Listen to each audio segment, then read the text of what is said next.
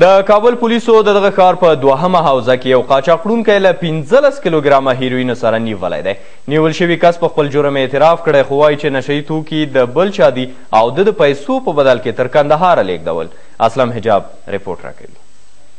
د کابل ښار د دوهمې امنیتي حوزې چارواکي وايي، قاچاقوړونکي په ډیر مهارت سره دغه نشه يي توکي په یو صندوق کې ځای پر ځای کړي وه چې د دوی د پولیسو له خوا د کابل د پل محمود خان په سیمه کې ونیول شو. بااثر سعید تلاشي منسوبینو پولیس په بخصوص حوزې دوم امنیتي این مواد که تقریبا چهارده کیلو و ششصد گرام است نوع ایروین است به دست آمد. تقریبا متهمش مزنونش هم به دست آمد دستگیر است زم قضیه است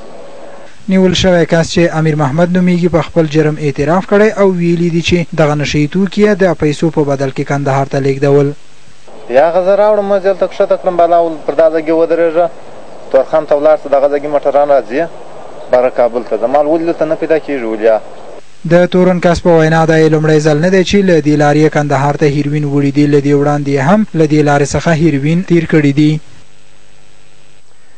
د کندهار ښار اوسېدونکي د هغو موانعو او سیمټي دېوالونو له امله چې د دې ښار په یو شمېر واټونو او عامه لارو کې د امنیتي ځواکونو له لوري اېښودل شوي له سختو ستونزو سره لاس او ګرېوان دي او له دولتي چارواکو غواړي چې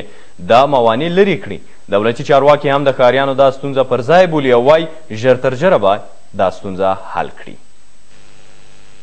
کندهار ښار ته په ننوتو سره د ښار په يو شمېر سيمو او واټونوکې هغه موانع او سيميټي دېوالونه چې د امنيتي ستونزو له مخې د دولتي او غير دولتي ادارو شاوخوا د دولتي چارواکو او قومي مشرانو د کورونو مخته ايښودل سوي د هر چا پام خپل ځان ته اړوي او ښار ته يې هم يو ډول پوځي او اضطراري رنګ ورکړی د کندهار ښار يو شمېر اوسېدونکي وايي چې اوس د پخوا کلونو په پرتله امنيت ښه سوی نو امنیتي ځواکونو ته شایي چې دا موانع چې خلک یې په ورځني ژوند کې له ستونزو سره مخامخ کړي، لرې کړي. ار پر هر ماموریت کې لارې بندې دي، موږ نشو کولای څه وکړو، خپلو کورو ته نشو تللی، دغه غواړو چې دغه ایسته شي، ډېر مشکلات دي صاحب، ډېر مشکلات دي، بیخي ډېر مشکلات دي، ډېر ډېر مشکلات دي. په ډبرو سره حکومت نه کېږي، نه په ډبرو سړی راګرځي، چې دغه ډبرې ایسته کړي، ډېر به زموږ مشکلات شي. موږ باندې دوغنه عذاب دی، دوغنه تکلیف دی. چې تقریبا تقریبا لکه زموږ پر وږو چې بار دي. د کندهار امنیه قومندان جنرال عبدالرازق هم له دې سره سره چې د مخه یې هم څو ځله د دغه موانعو د لرې کولو وعدې کړي بیا هم ژمنه کوي چې په لنډ وخت کې به دا موانع له واټونو او کوڅو څخه لرې کړي. موږ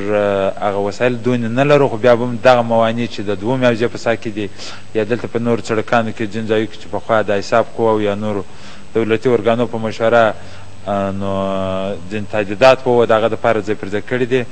په تېرو څو کلونو کې په کندهار کې د امنیت د خرابوالي له امله ډېرو دولتي او غیر دولتي موسسو او چارواکو د خپل امنیت د ساتنې په موخه د دفترونو او کورونو مخې ته یو شمېر کانکریتي دېوالونه درولي دي.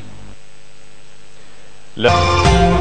دوه زره زده کوونکو لپاره د لیلیې ودانۍ جوړې او ګټې اخیستنې ته وسپارل شوې. دا ودانۍ په لښکرګاه ښار کې د ډنمارک په مالي مرسته د درې میلیونه امریکایي ډالرو په لګښت جوړې شوې دي چې نن د پوهنې د وزیر او د هلمند د والي لخوا ګټې اخیستنې ته وسپارل شوې. د چارواکو په وینا، دغه ودانۍ د هغو زده کوونکو لپاره دي چې له ولسوالیو څخه د ناامنیو له امله د زده کړې په موخه لښکرګاه ته راغلي دي. نعمت الله زهیر په دې اړوند نور حال راکوي.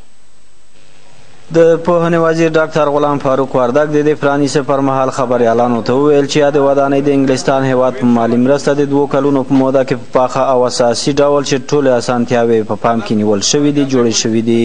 نوموړي زیاته کړه چې په دې انسټیټوټ کې د دوه زره او څلور سوه تنو زده کوونکو لپاره تر څوارلسم ټولګي پورې د زده کړو امکانات برابر شوي دي. که څنګه چې تاسو ګورئ چې د هلمند د کرهڼې د انسټیټوټ افتتاح ده چې دا به انشاالله دوه زره او څلور سوه کسانو ته د هلمند بچیانو او لورانو ته د انسټیټوټ په سطح تر څوارلسم سن پورې د تحصیل زمینه برابروي او هلمند کې ځمکې ډېرې دي شکر اوبه ډېرې دي نو اوس پکار ده چې بشري قوا ورته پیدا کړو. د پوهنې وزیر وویل چې یادې ودانۍ په اوولس جریبه ځمکه کې جوړې شوې چې دا مهال پکې شاوخوا درې سوه تنه زده کوونکي زده کړه کوي. هغه زیاته کړه چې هلمند یو پراخه کرنیز ولایت دی نو له همدې امله به د دې ولایت مرکز او ځینو نورو سیمو کې دې ته ورته مرکزونه به له نورو امکاناتو سره یو ځای جوړ کړي.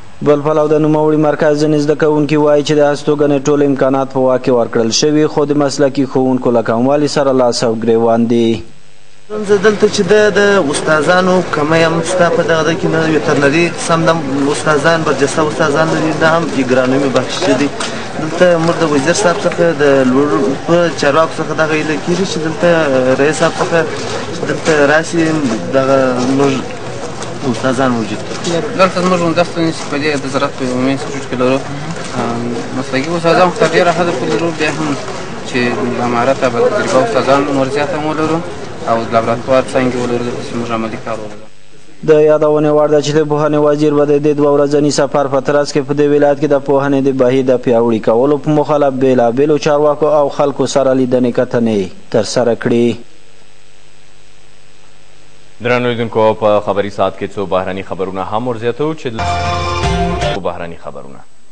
تهران وایي له امریکا سره خبرې ستونزه نه حل کوي د ایران قضایه قوې مشر آیت الله علي خامنه ای د اټومي پروګرام په اړوند له امریکا سره د ایران مخامخ خبرې د ستونزې د حل لاره نه ده بللې نوموړي د ایران د هوایي ځواک له قوماندانانو سره په خبرو کې ویلي امریکا په داسې حال کې له ایران سره د خبرو وړاندیز کوي چې د ټوپک ماشه یې په وینا یې نیغه ایران ته نیولې ده په تېره شنبه د امریکا مرستیال ولسمشر جو بایډن د روانې میاشتې په وروستیو کې له ایران سره د مخامخ خبرو وړاندیز کړی و، خو له تېرې چهارشنبې ورځې راهیسې پر ایران د امریکايي بندیزونو لړۍ سخته شوې ده، چې په دې لړ کې ښايي ایران ته د تېلو د صادراتو د درېدو له کبله سخت اقتصادي زیان هم واوړي. ایران تل ویلي چې اټومي هڅې یې د سوله ییزو موخو او د برېښنا د پراختیا لپاره دي، خو لویدیځ دا څرګندونې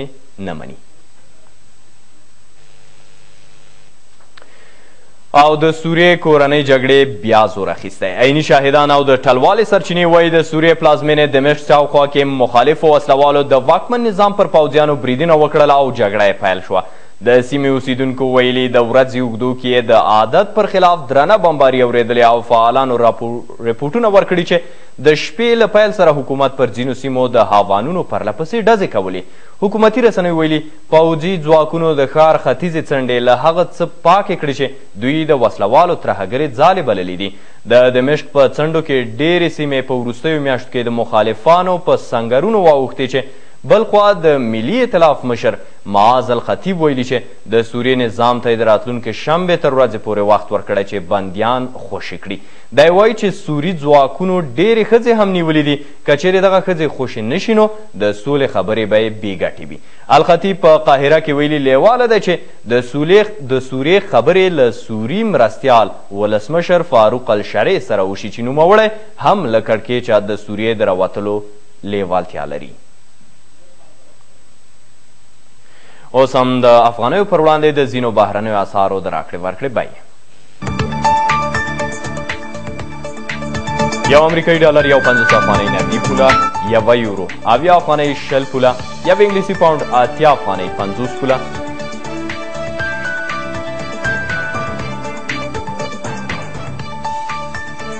د اماراتو یو درهم څوارلس افغانۍ لس پوله زر ایراني تومان دیارلس افغانۍ دېرش پوله او زر پاکستانۍ کلدارې پنځه سوه شل افغانۍ درنو لیدونکو په پای کې هم د پلازمېنې په ګډون د هېواد یو شمېر مهمو ښارونو د هوا د حالاتو وړاندوینه چې عادله شیرزۍ یې در وړاندې کوي.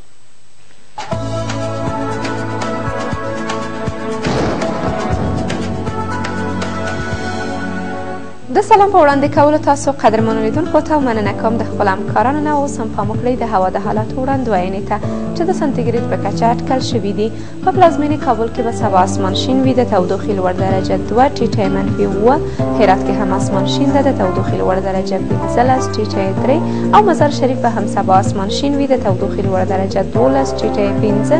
جلال آباد هم اسمان شین د تودوخې لوړ درجه دولس ټیټه دوه او په پای کې قندهار اسمان شین د تودوخې لوړ درجه څوارلس ټیټه درې له ملتیا مو مننه شپه مو په خیر